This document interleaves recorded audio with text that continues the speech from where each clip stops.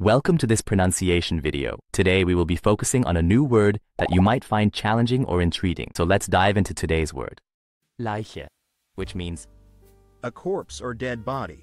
let's say it all together. Leiche. Leiche.